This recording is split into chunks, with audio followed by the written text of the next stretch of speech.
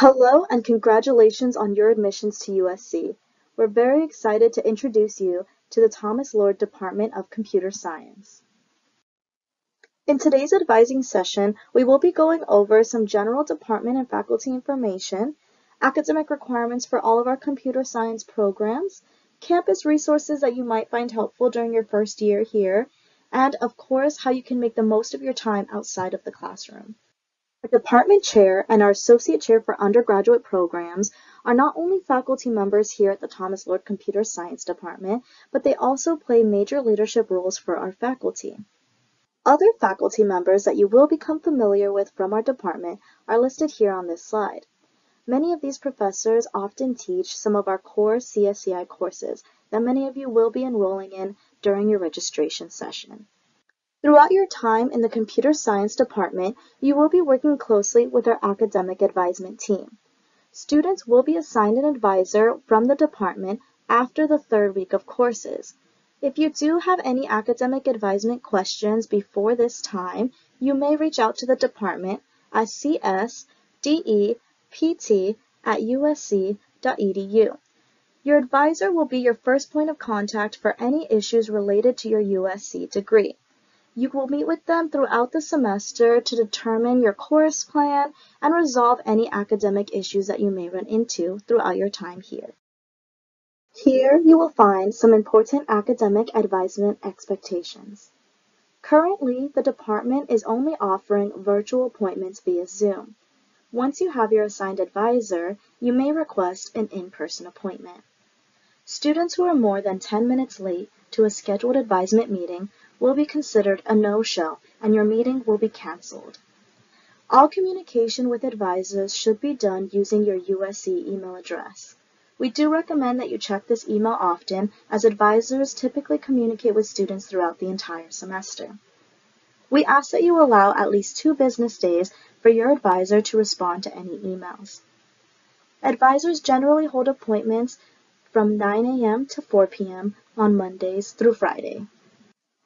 Moving on to our academic requirements, this slide introduces you to our primary CSCI course sequence. CSCI 102 is where most students will start their CSCI coursework. For those who have AP credit or who have tested out of CSCI 102 will generally be taking CSCI 103 along with CSCI 170. These two courses will then lead you to CSCI 104. The department often refers to our core computer science courses as grade qualifiers, or GQs for short.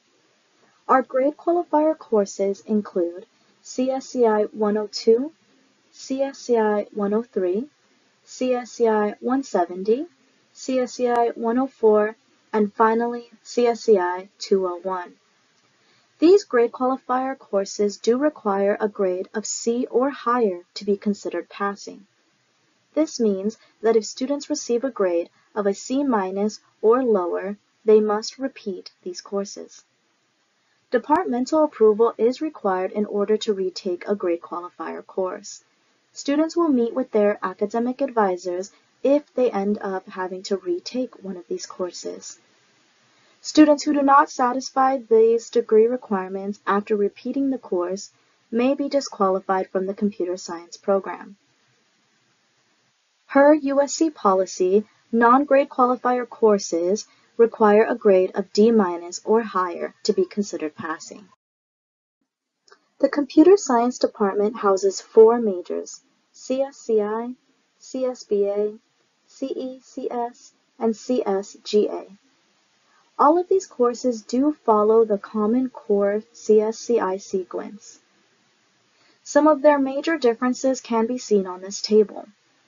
Please note that for the CE-CS major, these requirements are mainly highlighting our computing track. An important part of our degree requirements include technical electives. Each major has a different technical elective requirement. We highly recommend that you look at our approved technical elective list before making any decisions on enrollment. We recommend that you also double check your chosen course with your academic advisor to ensure that it will satisfy your technical elective requirement. Courses used as part of the core major requirements are not allowed to double count as technical electives later on. We understand that the transition to USC can be difficult. We highly recommend that students utilize academic resources to assist them, especially during their first semester. The computer science department always has course producers and teacher's assistants assigned to courses to assist students, and their office hours should be listed on your course syllabus. Another great resource is the Viterbi Learning Program. This program offers tutoring services in several different specializations. For support in non-computer science courses, we recommend that students look at the Dornsife Supplemental Instruction Program, here you may find some assistance with math and science courses. Another great resource is the USC Math Center. This center is designed to help students with their math courses. Students in our CSBA program also have access to Marshall academic resources. They might be able to help with some business and economics courses. Some popular resources recommended by our students include the Center for Engineering Diversity, and the Kortschak Center for Learning and Creativity. USC takes academic integrity violations very seriously.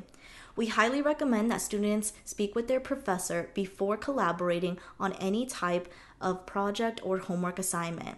If a student is caught in violation of any academic integrity policy, it may result in a zero on an assignment or possibly a grade of F in the course. Students can find academic integrity policies listed in the USC catalog. Some important wellness resources that all students have access to include the USC Student Health Center, the USC Campus Support and Intervention Office, and Mindful USC. We highly recommend that students get involved outside of the classroom. A great way to do this is to join some student organizations. USC offers several types of organizations. In fact, the CS department offers a list of CS-centered organizations. We also have some Viterbi affiliated organizations, and then you can find all other campus organizations through Engage SC. One great advantage to joining the Viterbi family is our Viterbi Career Connections office. This office can assist students with finding internships, reviewing resumes, and even doing interview prep.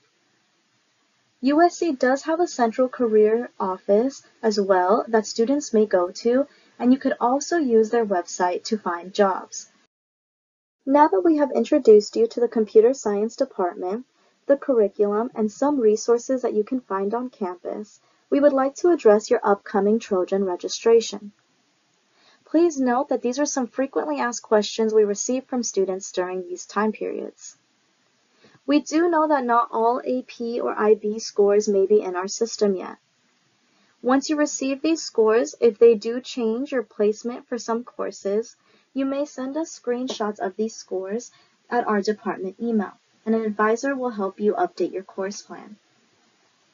If you would like to place into a higher CSCI course, you must have AP credit for AP Computer Science A, or you must have taken and passed the CSCI 102 challenge exam. Students will be using the web registration portal to register for their courses during their designated registration session. The Viterbi office does offer some WebReg tutorials and information about these tutorials was sent to students via email. Students currently have access to the web registration portal. The correct registration date and time will not appear on the web registration portal until about one hour before your registration period begins. If you have any trouble during your designated registration period, the Computer Science Advisement Team will be available via live chat. You may find the link on this slide. If any of the courses that you are scheduled to enroll in become full, then we do recommend that you email us at our department email. An advisor will get back to you with some backup course options. Again, if this happens during your registration period, you may utilize the live chat. If a course is listed as requiring D clearance or departmental clearance, you may email us at our department for any computer science courses.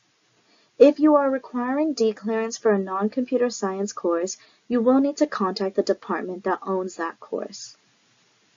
If you are not able to attend your scheduled registration period, we do recommend that you contact the Viterbi office at viterbi.studentservices at usc.edu. Students can find important dates and deadlines on our university calendar for the spring 2024 term.